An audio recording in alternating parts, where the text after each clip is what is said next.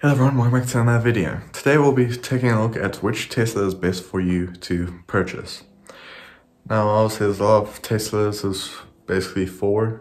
But before we get started, please be sure to be, well, make sure, yeah, be sure to subscribe to the channel to see more videos like this and more different types of videos during the week. Now I do have every model on here on my iPad to, to go through the specs, well, main specs and price and basically classifying which or what category will be best suited for. But I will display them here. So first model is the Model S. Now this is a very nice vehicle and I'm going to set a potential savings price instead of the actual purchase price.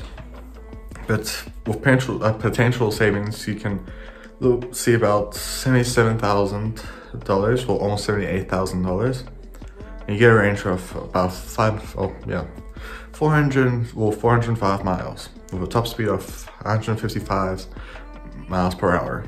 And the speed is obviously quite good, 3.1 seconds in zero, oh, oh yeah, 3.1 seconds for 0 to 60, which is very good. But now there's obviously the plaid version, which is more sportier and has a nice design, but it does cut basically around about 20 miles off the range. But this is basically more suited for people that like speed because it is a very fast car.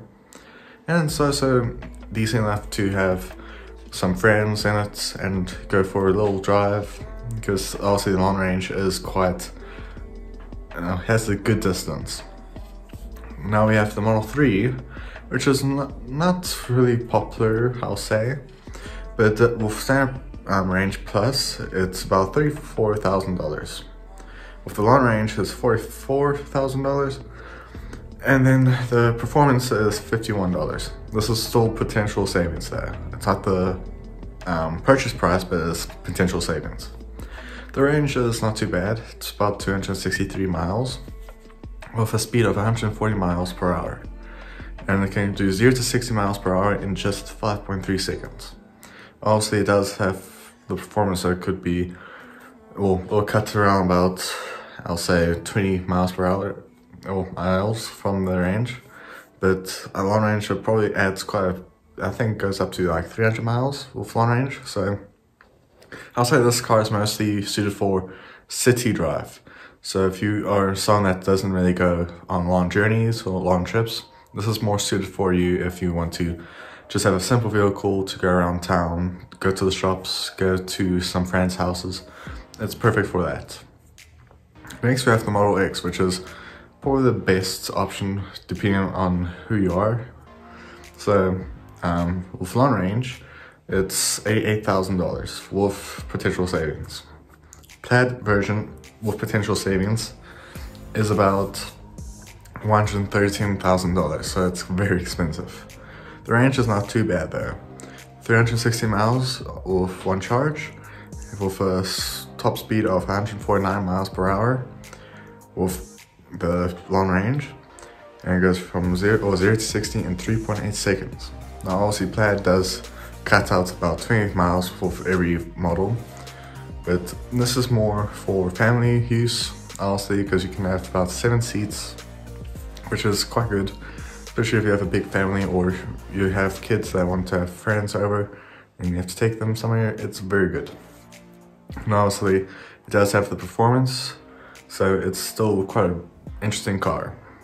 And then the final model is the Model Y.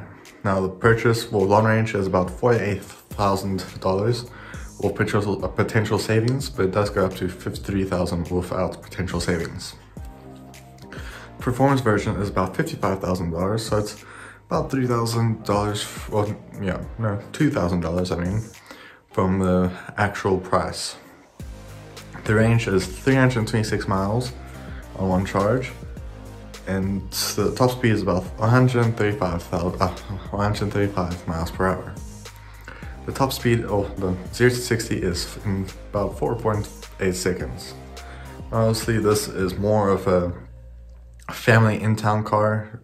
The Model X is basically classed as a family car, but this is for, I guess, smaller families or just someone that wants a bigger car for taking big items to different places. So this is more of your daily commute um, for heavy duty, well not heavy duty, but it allows you to carry more things than the other things. So, but I think the best option for anyone to go for is probably the Model S because obviously has the speed, it's more sporty looking, and I mean the plaid version is very beautiful with the looks. I like the accents it has on the handles, the interior is quite good. So it's quite good. Honestly, if you are someone that's interested in the autopilot, that is about $10,000 extra. But honestly, if you are going to use it, then go for it.